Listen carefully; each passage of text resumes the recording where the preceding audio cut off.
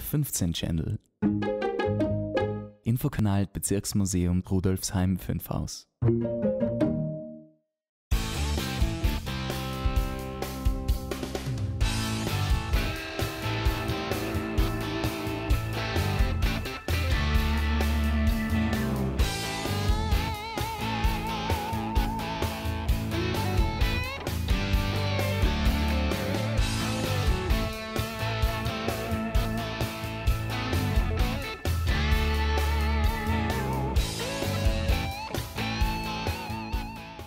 Ah, da seid ihr ja. Ja, das Museum ist zu, Lockdown, man darf auch niemanden mehr treffen, deshalb sitze ich heute hier allein und ähm, vielleicht habt ihr es schon erraten, was ich heute hier mache. Meine Lieblingsbeschäftigung, Abrechnung. Ja, das Museum ist zwar ehrenamtlich, bekommt aber natürlich Budget und so muss jeder Cent auch vermerkt werden, wie, so ähnlich wie in einer Bilanz halt auch. Und da das Jahr jetzt eh sich schon zum Ende neigt, bereite ich das schon mal vor, damit wir das nachher dann gemeinsam fertig machen können. Wisst ihr eigentlich, woher der Abakus stammt?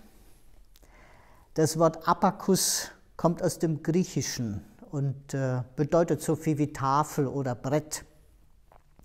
Mit dem Abakus kann man prima addieren, subtrahieren, multiplizieren, dividieren, aber auch Quadrat- und Kubikwurzel rechnen. Ähm, der Abakus ist äh, das älteste Hilfsmittel zum Rechnen, ungefähr 4200 bis 4500 Jahre alt. Und erfunden haben ihn wahrscheinlich die Sumerer. Das ist nicht ganz gesichert. Ähm, die Sumerer, das ist das Gebiet im heutigen Irak. Und ähm, der Abakus ist äh, von den Händlern in Arabien und Persien und Indien benutzt worden und hat sich dann über diese Wege nach Europa verbreitet. Wie man damit rechnet, das könnt ihr euch ja mal auf YouTube anschauen.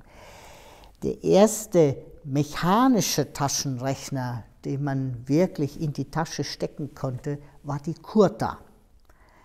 Entwickelt wurde die Kurta in den 1940er Jahren von Kurt Herzstark. Und das Haus der Firma Rechenmaschinenwerk Austria, Herzstark und Co. befand sich bei uns im 15. Bezirk, genau an der linken Wienzeile 274. Und dort wurden die verschiedenen Austria-Rechenmaschinen entwickelt und hergestellt. Der erste elektronische Taschenrechner, der wirklich auch in die Hand gepasst hat, den hat 1967 die Firma Texas Instruments entwickelt, eine Firma äh, in den USA. Das hier ist so ein Beispiel. Der hier ist auch schon wieder 35 Jahre alt. Also ihr seht, alte Dinge haben bei uns Tradition, aber das ist ja auch unser Job. Ja, wie ihr seht, ich habe noch ein bisschen was vorzubereiten. Hoffentlich sehen wir uns am 7. Dezember wieder, aber das ist auch noch nicht sicher. Ähm, 7. Äh, Dezember, 17 bis 19 Uhr, Rosina Gasse 4 im 15. Bezirk. Macht's gut, euer Maurizio.